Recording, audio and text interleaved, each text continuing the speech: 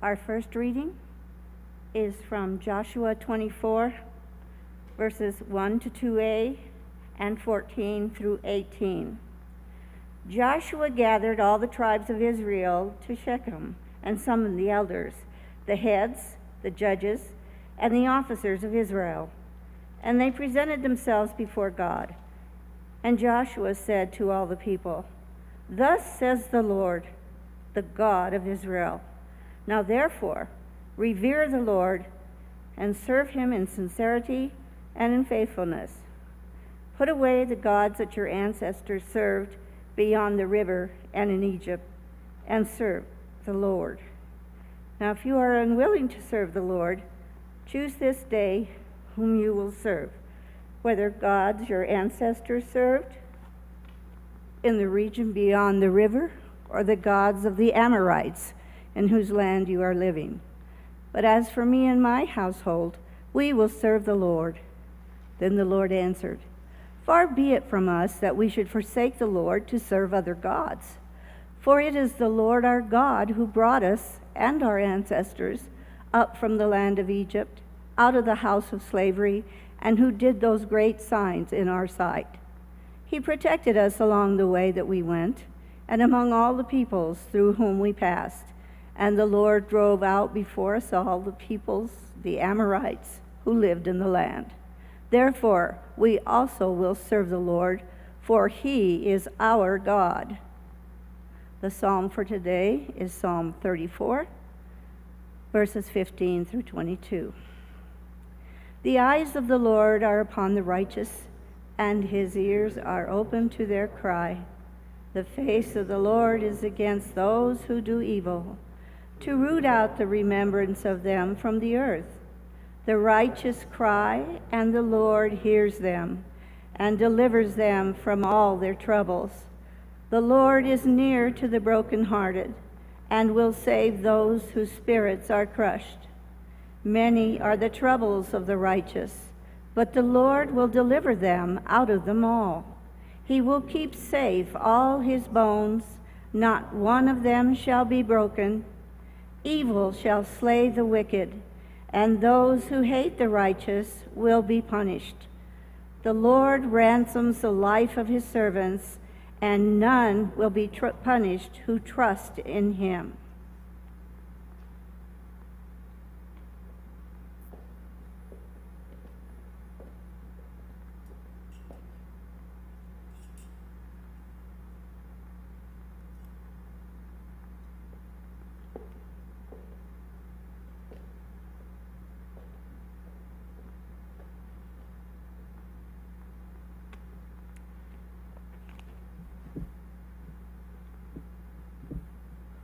The second lesson for today is from the book of Ephesians, chapter 6, verses 10 through 20. Finally, be strong in the Lord and in the strength of his power. Put on the whole armor of God, so that you may be able to stand against the wiles of the devil. For our struggle is not against enemies of blood and flesh, but against the rulers, against the authorities against the cosmic powers of this present darkness, against the spiritual forces of evil in the heavenly places. Therefore, take up the whole armor of God, so that you may be able to withstand on that evil day, and having done everything, to stand firm. Stand therefore, and fasten the belt of truth around your waist, and put on the breastplate of righteousness as shoes for your feet, put on whatever will make you ready to proclaim the gospel of peace.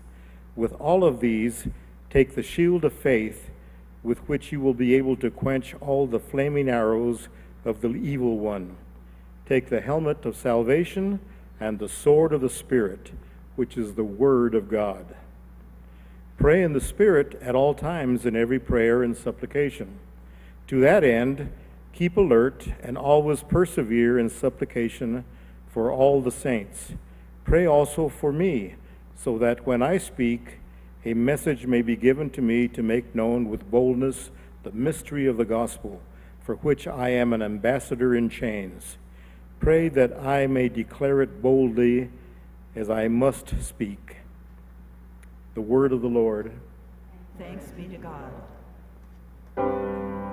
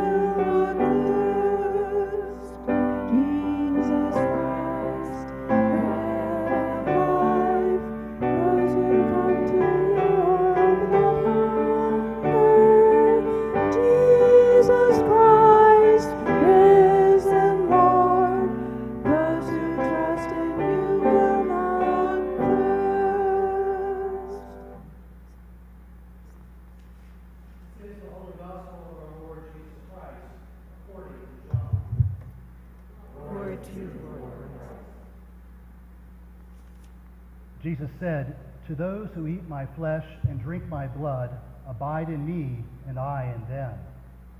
Just as the living Father sent me, and I because of the Father, and I live because of the Father, so whoever eats me will live because of me. This is the bread that came down from heaven, not like that which your ancestors ate, and they died. But the one who eats this bread will live forever. He said these things while he was teaching in the synagogue at Capernaum. When many of his disciples heard this, they said, This teaching is difficult. Who can accept it? But Jesus, being aware that his disciples were complaining about it, said to them, Does this offend you?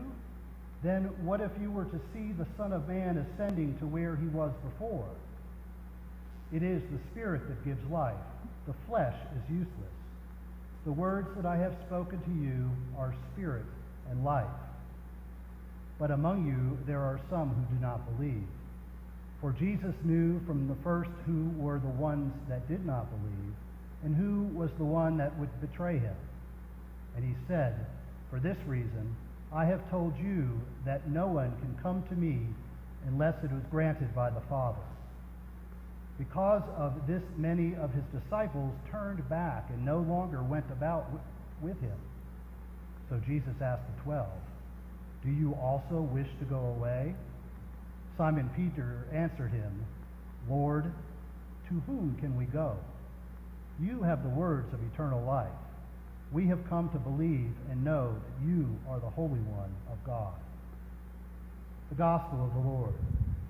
Praise to you, Lord Christ thank you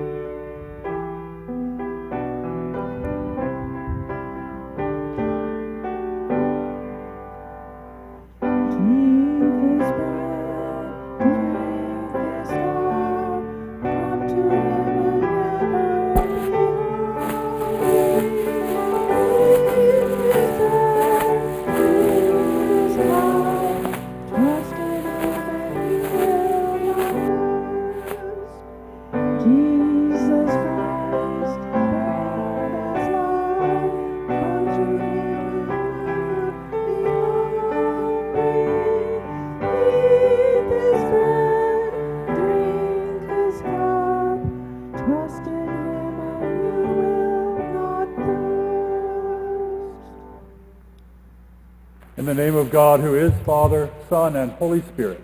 Amen. First, let me say what a joy it is to be here with you again. It's been a while, uh, and it's always wonderful to come uh, and be with folks here at Hope in the Desert. I want to call to your mind uh, both in literature and afterwards in movies. one scene happens in the Lord trilogy, uh, written by J.R.R. Tolkien.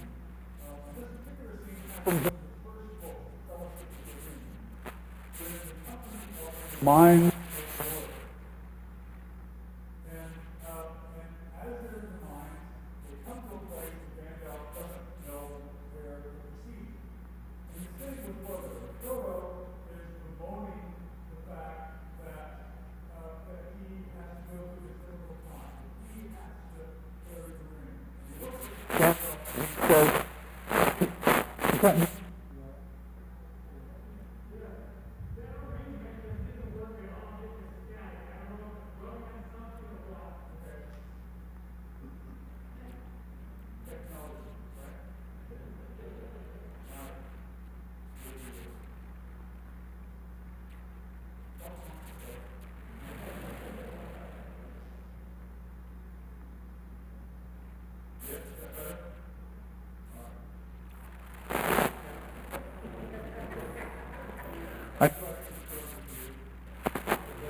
Okay, so Frodo says to Gandalf, I did not. uh,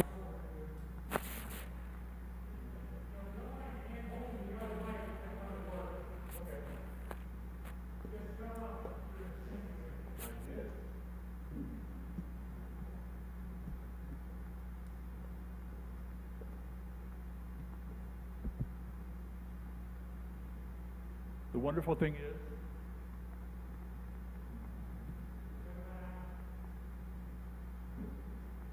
Hello, hello? Yes.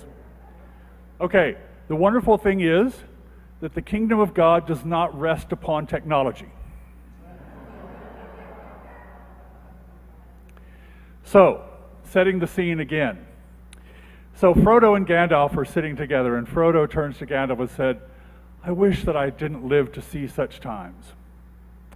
And Gandalf turns back to Frodo and says, So do all who live through such times, but that is not for them to decide. What is left for them to decide is what to do with the time that is given them. The choice they make. Likewise, in Harry Potter, and I don't remember what movie, and if you do, raise your hand as I tell the scene, is that Harry Potter is, is concerned that he is turning into someone bad. And he goes to Dumbledore and he said, he says, you know, what if I'm turning to, into someone bad? What if this is all happening to me? And, and Dumbledore said, it's not who you are that matters, it's the choices you make. It's the choices you make. And as I read through this morning's uh, lesson from uh, the Old Testament, those scenes came to me. That it's all about our choices. Because we know who we are, right? We're all children of God. We're all created in the image of God. Scripture tells us that. The book of Genesis tells us that we are all created in the image of God and that God breathes life into us. So that's who we are. But it's the choices we make that matter. And we're faced with innumerable choices every single day. Innumerable choices, some very trivial. What am I going to have for breakfast? You know, what television shows I, well, that may not be so trivial. But, um, you know, and, and then there are much more important questions. You know, how am I going to face this ethical situation at work? How am I going to respond to my spouse when we're having a disagreement?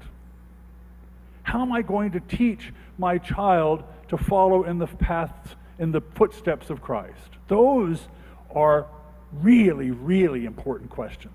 And we make them every day. Just as the people of Israel made the choice in today's reading from the Old Testament. It's a magnificent setting. Here they are, they've entered into the promised land. Joshua is holding a, a large gathering of all the peoples, all the tribes and he's setting this choice before them. He said, This day you have to choose. Are you going to choose the old gods, the gods of Egypt and the gods of the Ammonites among whom you live? Or are you going to serve the one true God? And then Joshua says, I can tell you, as for me and my house, we will serve the Lord. And everyone else says the same. Far be it from us, they said, we will serve the Lord also. Now, we know from the history of Israel that there are many times when that steadfastness falters, when they make choices that are not quite so great, right? And we know that even David himself, King David, chosen and anointed by God, makes a really bad choice when he takes Bathsheba and sends Uriah the Hittite to the front of the war to be killed so that he can have Bathsheba as his wife. So the, the scriptures are replete with times when people make good choices and when people make bad choices. And that's just human nature. But the important thing is, time and time again, what do the people of God do when they make bad choices? They repent. Yes? They repent. And that word comes from the Latin, which literally means to think again.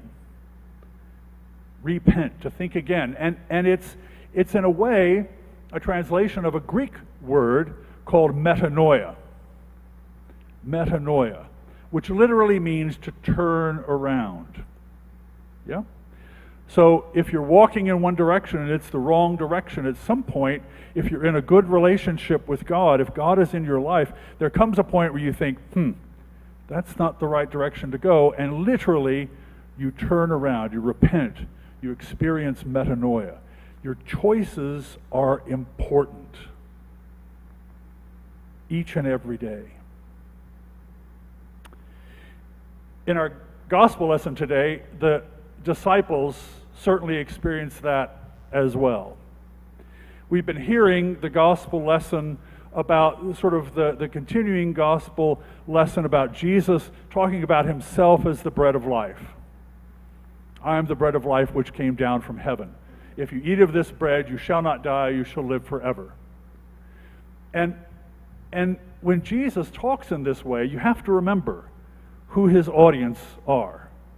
The people who are hearing him are observant Jews who are observing strict dietary laws.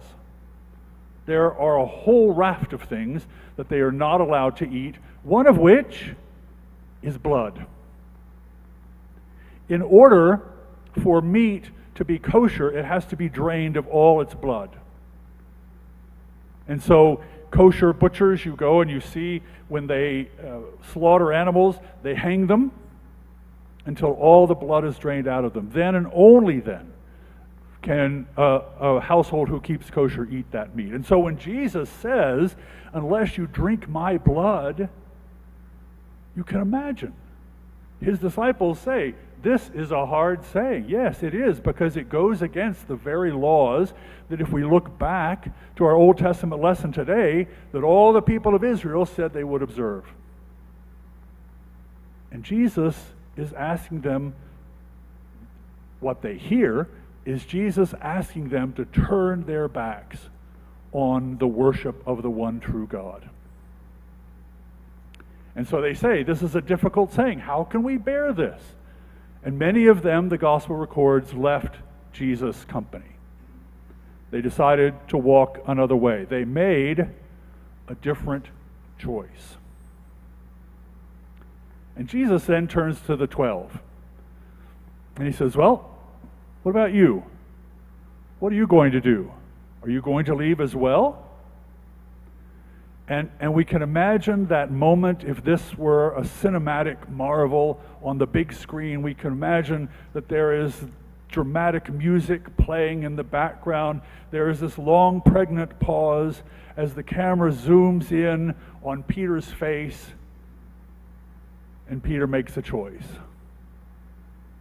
And he says, No, Lord, of course we're not going to leave you. You have the words of eternal life. And they all make the choice to continue to follow Jesus. Now we know the rest of the story. And we know that choice leads through very, very difficult times for each and every one of them. And so those choices then come at a cost.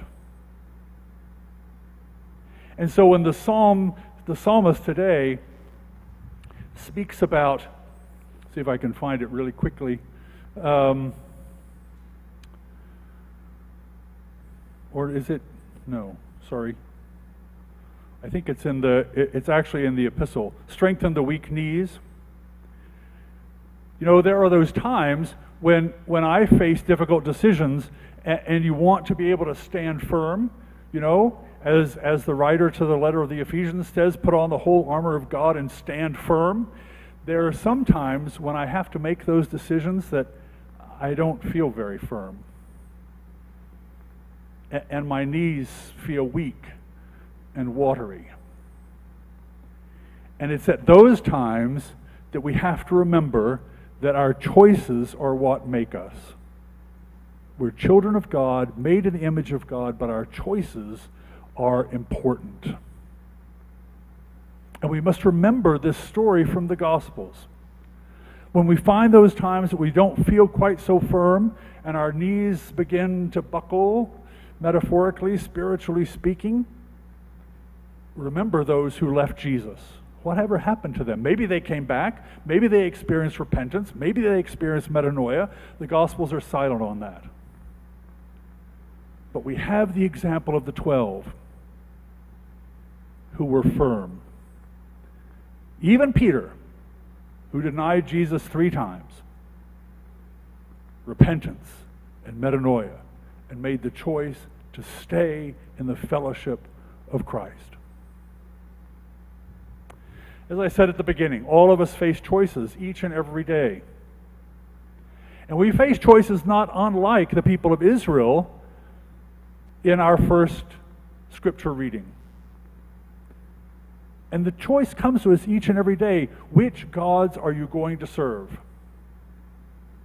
Which gods are you going to serve? Are you going to serve the gods of this world? Are you going to serve the gods of money? Power? Instant gratification?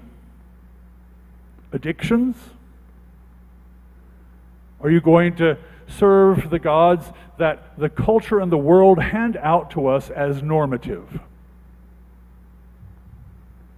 Or are you going to serve the one true God? These are the questions that come at us every day. These are the choices that we have to make. And sometimes we become weary at having to make those choices all the time. One of the things that I've noted to many, many people, and I've had conversations, as I'm sure you have, with your friends and your family members, as I have, and with colleagues, is the weariness that has come with this pandemic. Nothing is easy anymore. We can't just decide at the spur of the moment to go do something, to go on a trip, or you know, drive down the road to another town, or or get together with you know large groups of friends. We can't, and this weariness sets in. Physical weariness, spiritual weariness, emotional weariness.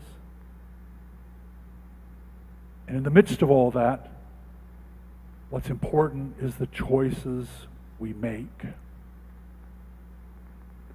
The choices to take care of ourselves.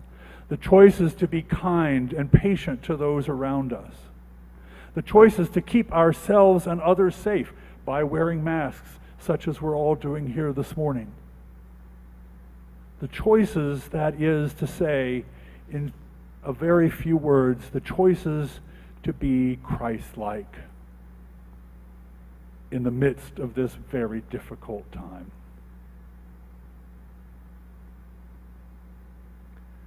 The psalmist includes a line which speaks, I think, very clearly to at least where I feel myself to be today.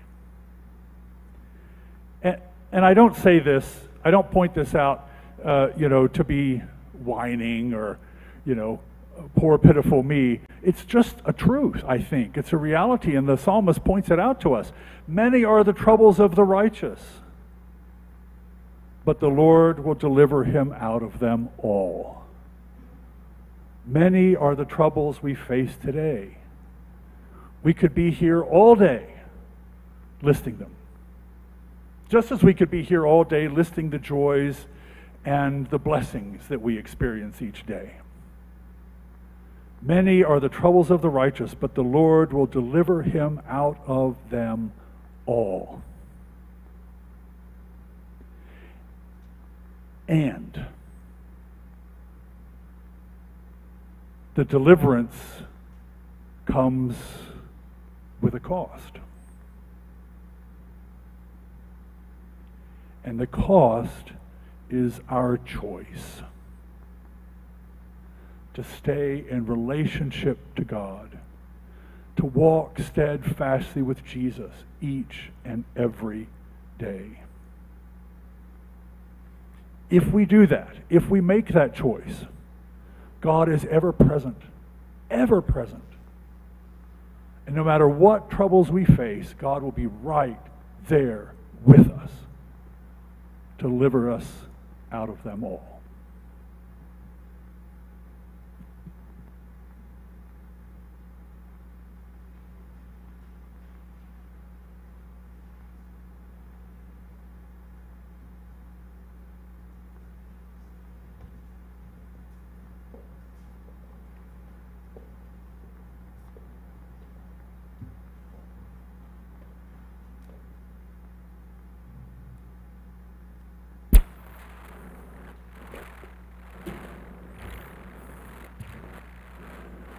Let us, our, let us affirm our faith.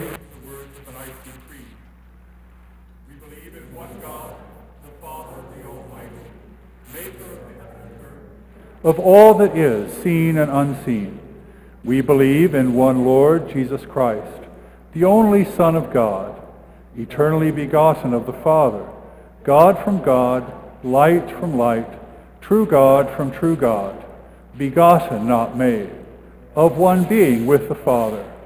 Through him all things were made. For us and for our salvation, he came down from heaven.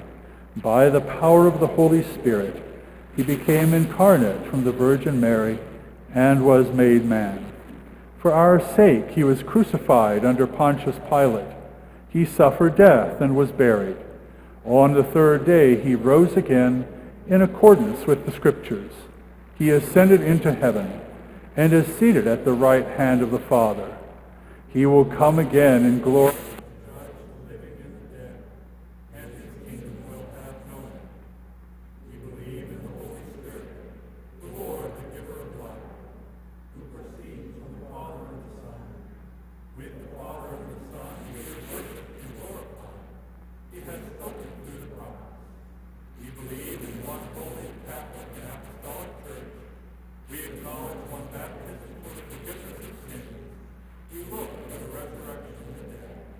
The life of the world to come.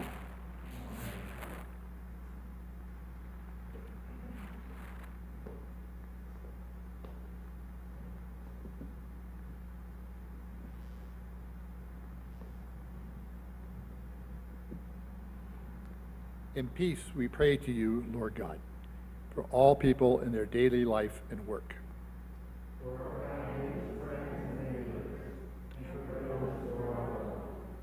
For this community, the nation, and the world.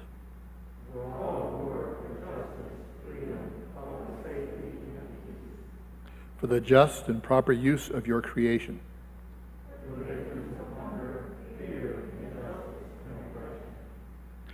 For all who are in danger, sorrow, or any kind of trouble.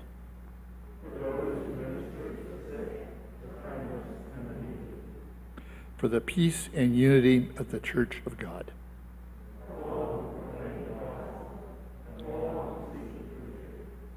For our church leaders, Archbishop Justin Welby, the presiding bishop Michael Curry, our diocesan bishop Michael Hunn, and our rector Father Dan and his family. We pray for the Southwest Deanery. For the special needs and concerns of this congregation. There's more? Hear us, Lord. We thank you, Lord, for all the blessings of this life. We- will exalt you, O God, our King. We pray for all who have died, that they may have a place in your eternal kingdom. That your loving guidance be upon them.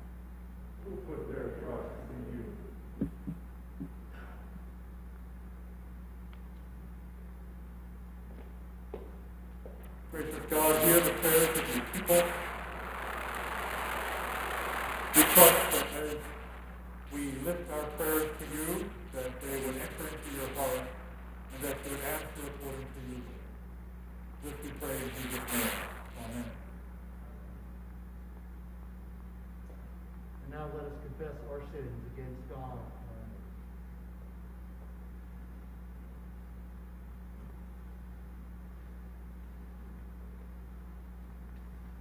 Most merciful God, we confess that we have sinned against you in thought, word, and deed, by what we have done and by what we have left undone. We have not loved you with our whole heart. We have not loved our neighbors as ourselves. We are truly sorry and we humbly repent.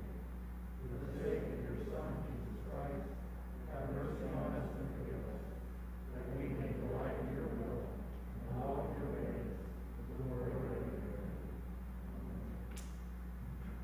Almighty God, have mercy on you, forgive you all your sins through our Lord Jesus Christ, strengthen you in all goodness, and by the power of the Holy Spirit, keep you in eternal life. The peace of the Lord be always with you.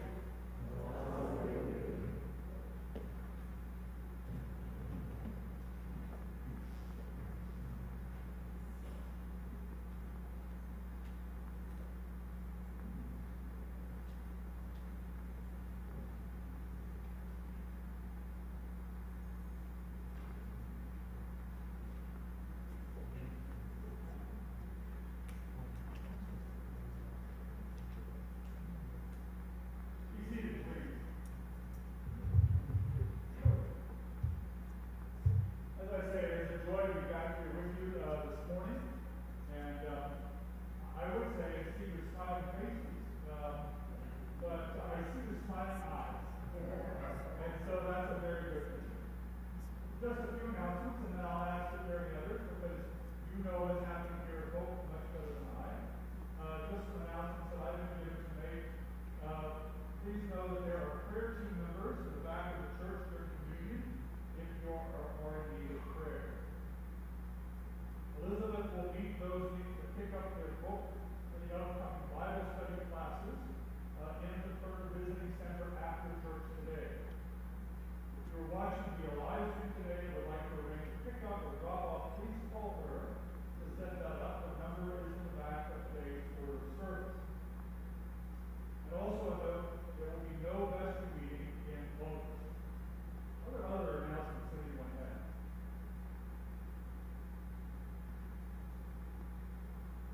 What can love is Christ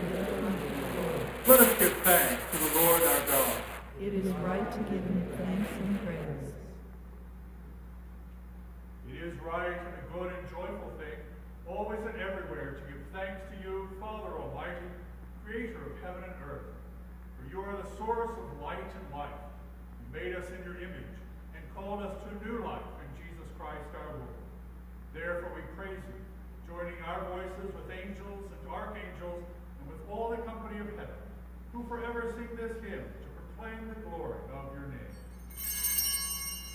name.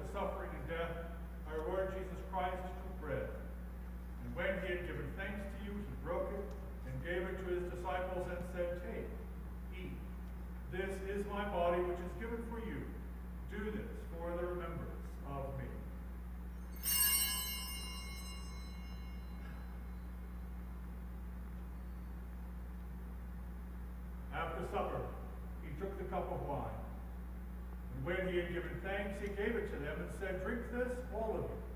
This is my blood of the new covenant, which is shed for you and for many for the forgiveness of sins. Whenever you drink it, do this for the remembrance of me.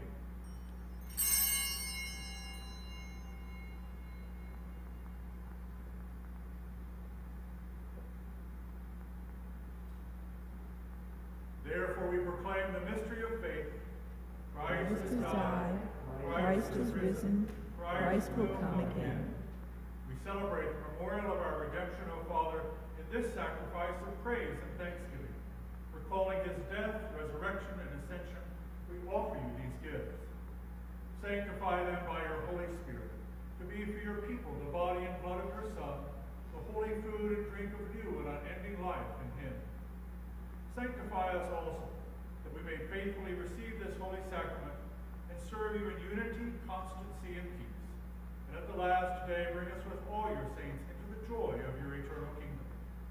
All this we ask through your Son, Jesus Christ, by him and with him and in him, in the unity of the Holy Spirit, all honor and glory is yours, Almighty Father, now and forever. Amen. Now, as our Savior Christ has taught us, we are bold to say, Our Our Father, Father, who art in heaven, hallowed be thy name. Thy kingdom come, thy will be done, on earth as it is in heaven. Give us this day our daily bread, and forgive us our trespasses, as we forgive those who trespass against us. And lead us not into temptation, but deliver us from evil. For thine is the kingdom, and the power, and the glory, forever and ever. Amen.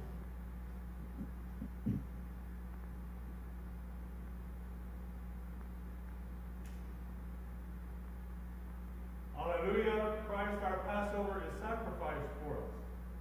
Therefore, let us keep the feast. Hallelujah. The gifts of God for the people of God.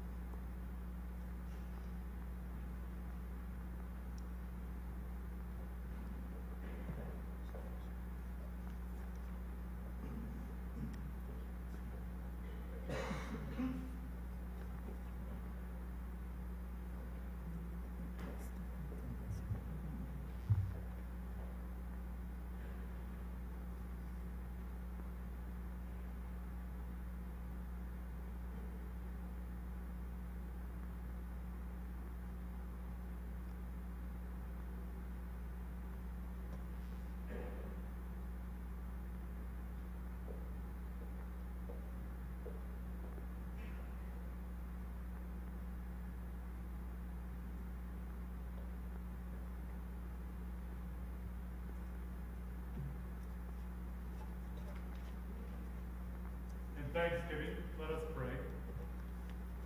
Eternal God, Heavenly Father, you have graciously accepted us as living members of your Son, our Savior, Jesus Christ. And you have fed us with spiritual food in the sacrament of his body and blood. Send us now into the world in peace, and grant us strength and courage to love and serve you with gladness and singleness of heart, through Christ our Lord. Amen peace of God which passes all understanding, keep your hearts and minds in the knowledge and love of God and of his Son, Jesus Christ our Lord. And the blessing of God Almighty, the Father, the Son, and the Holy Spirit be amongst you and remain with you always.